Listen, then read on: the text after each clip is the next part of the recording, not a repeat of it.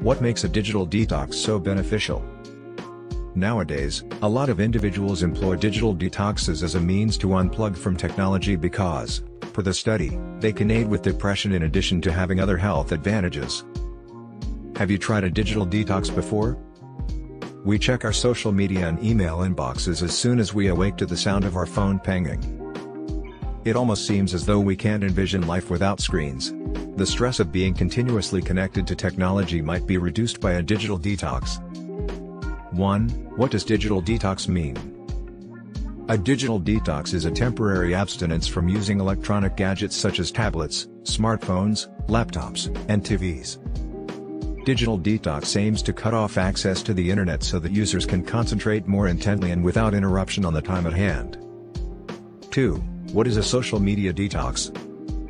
Similar to a digital detox, a social media detox involves refraining from using or participating in social media for an extended period of time in order to enhance one's mental health and well-being. It's quite well liked. 3. The benefits of taking a technology break. An excellent method to determine whether technology is hindering you from living your best life is to go on a digital detox. Unplugging can have a variety of positive outcomes, from better workplace productivity to closer bonds with friends and family. The following are some benefits of taking a break from technology. A. Sharper focus, you might quickly become sidetracked by frequent beeps and pop-up messages. A digital detox may cause you to become more aware of your surroundings and improve your ability to concentrate on your duties. B. For some people, information overload can be stressful. You'll feel better at ease if you cut back on your consumption and do something else.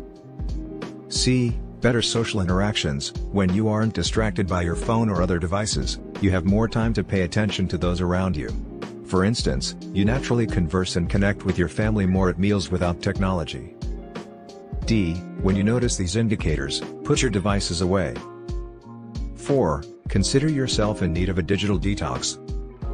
It might be best to disconnect if you experience any of the following while consuming electronic media.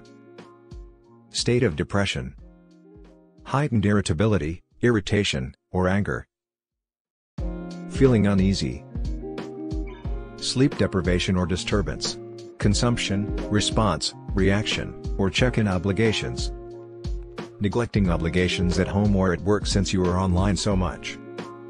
You no longer enjoy interacting with people in person since you prefer to connect with them online. Tips for a digital detox. Disconnecting from digital devices will be very simple for some people and more challenging for others. If you're taking a social media detox, log out of your computer, laptop, or tablet. Inform your loved ones of your detoxification efforts and how they may help. Prepare ahead of time with things to keep you occupied.